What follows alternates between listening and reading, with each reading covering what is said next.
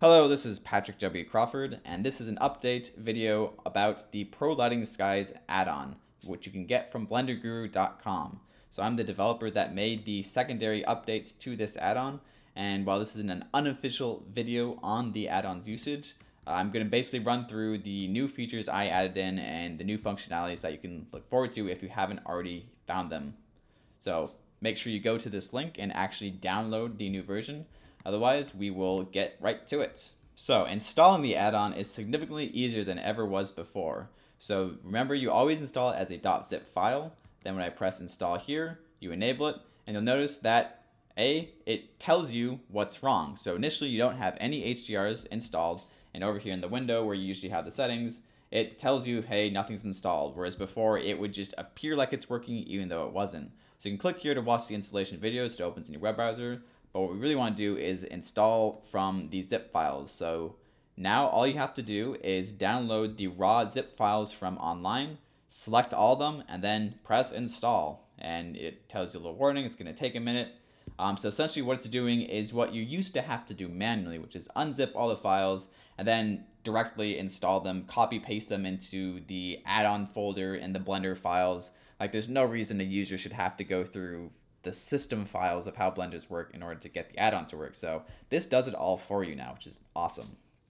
So, but again, it's unzipping like almost a gigabyte of files. All right, there you see it work. There's a tick mark saying all HDRs installed, and you notice that over here in the window, it works. So I'm gonna actually increase the system size a little bit so that it's not the smallest thing in the world. 100 will probably do. All right. And this looks very similar to what you had before. Um, so essentially when I go into render view here, let me actually just select the one of the skies. There we go. So it's it's loading the skies in the background. That's why I was taking a, a minute there. Uh, but essentially, this is what it looked like before in the previous versions. But now you have these paddles to toggle through and go between the different skies. You have the ability to change categories. So say you only want to look at the sunset, you will only see the sunset here.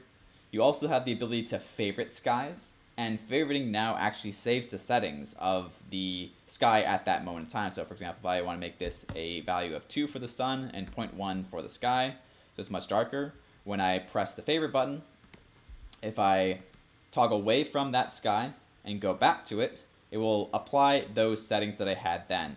And it also appears in the favorites category. The favorite category will only exist once you have created the first favorite sky.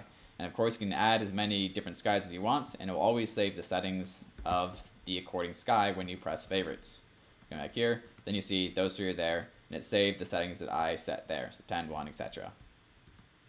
So another big update to uh, the 1.1.1 version is the addition of the horizon level advanced setting.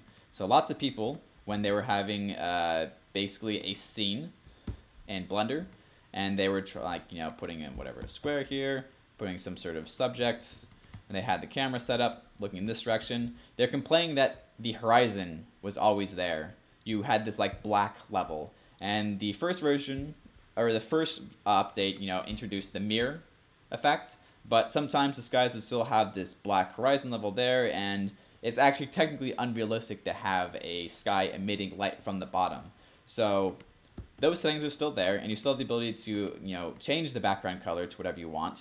But we've added a new setting called Horizon Level, and this will solve a lot of the issues about having to mirror the sky, which you can still do if you want. But essentially, well, it is what it sounds like. It's going to adjust the horizon level, bringing it down a little bit, such as like that. And so, however you position your camera, you can adjust it more, adjust it less. It typically only makes sense to move it into the negative area, but you can do, you know, way up if you wanted or way down.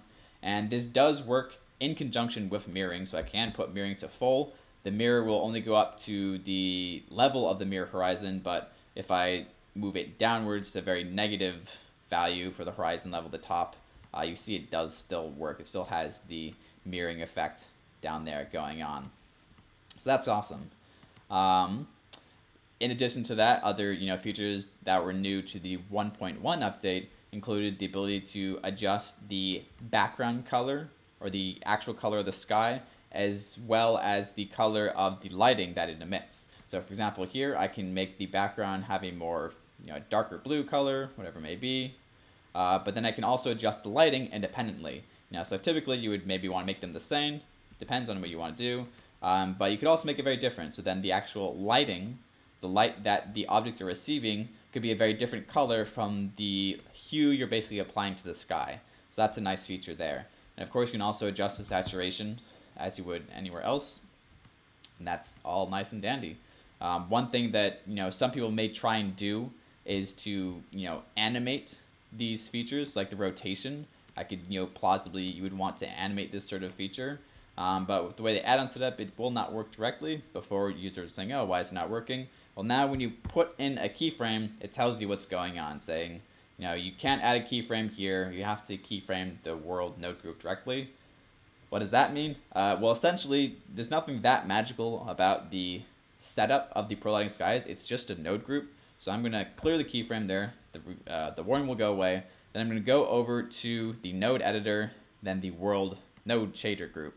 And you see here, this is the add-on. This is what the add-on does. It creates and sets up this node group and you know modifies other properties. So if you want to like, for example, animate the rotation of the sky, what you would really have to do is animate it here in the node group. And that's a separate property from what the um, this button down here is. So if you want to animate the rotation of the sky, then you would basically, you know, change it there, and it will rotate, you know, add another keyframe, rotate over time. And that's true for all the properties. So just be aware of that.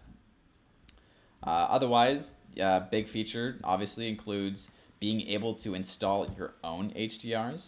So if you go back to the add-on, go down here, you have the ability to, there's another section for install custom HDR. So this is a huge feature available for the Lite and ultimate versions that you know basically enables you to use other HDR sets such as from the sIBL library or however you say it. So an example of that, when you open this up, then again I will navigate to wherever I have these things.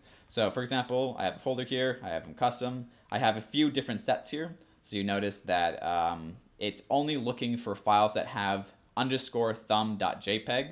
If I select all those, it will attempt to install all those individual files. So now I have, in addition to the all sky setting, it will, you know, add them to the end there once all the skies load again. Um, but I can more directly go to the custom, the custom uh, category here. And you'll see it has all four of those skies there, which is nice and wonderful. Uh, typically, these skies will not work as well with the mirroring features. That's why it looks odd here, or the horizon level for that matter. So I'm going to reset settings uh, just to clear that out. And you can kind of see that it looks great. That's the background sky. And again, like anything else, I can toggle through. Do, do, do, do, do. Now we're inside a stairwell. That's amazing. And yeah, so essentially you can use HDRs from anywhere. Uh, but you know, you just have to have the right file. So you have to have, in addition to a you know JPEG file, which is the direct background here, you have to have either a .hdr file or a .exr, EXR file for the lighting. And the instructions here do very clearly, you know, explain the setup of what that has to look like. So just be aware of that. Otherwise, that is the extent of this short demo. So I hope a lot of people, you know, enjoy this new update, that these features are useful and make your scenes look better. That's all for now. Thanks so much.